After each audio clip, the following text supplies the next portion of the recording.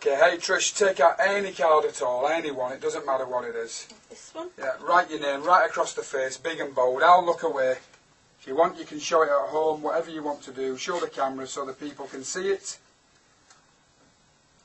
Yes? Yeah. Alright, place the card back in somewhere, anywhere at all. Really does go in. Notice I don't watch where it goes or anything else. Did I ever show you my famous two joker trick?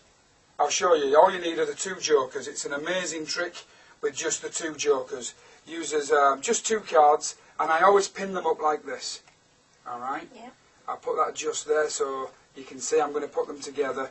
And by the way, I didn't show, but these really are all different.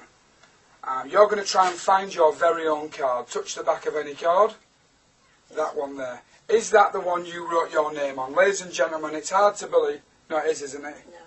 Oh, that's gone wrong. Can you remember I put these two jokers here with the paper clip on? Remember that?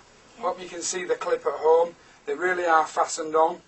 Let me move these to one side. You take the clip off. Really does come right off the cards. There's no moves, no extra things. Uh, trapped in between them is your card. That's the one. And it just uses two jokers and Trisha's card.